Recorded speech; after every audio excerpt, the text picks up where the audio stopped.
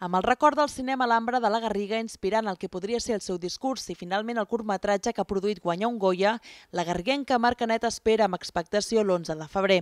Serà el dia que coneixerà si Dancing with Rosa, nominat a millor curtmetratge documental, s'acaba emportant l'estatueta de l'Acadèmia del Cine.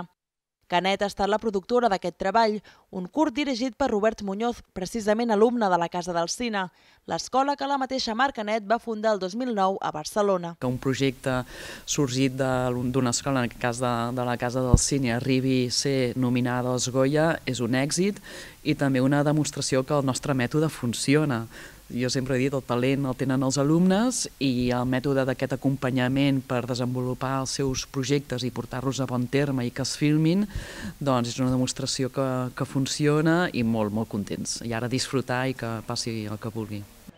Eva, mira, mira el papa. En el curtmetratge, el director Robert Muñoz explica la història de la seva sogra, la Rosa, una dona que als 84 anys se n'adona que ja no té força per seguir cuidant a la seva filla Eva, amb síndrome de Down i clar, i és en aquell moment eh, de límit de dir si l'ha de portar a una residència o no.